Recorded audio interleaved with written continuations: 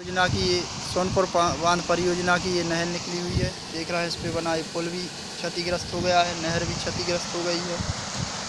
नहरों में दरार भी आ चुकी है। देखिए, ये दरारें हैं।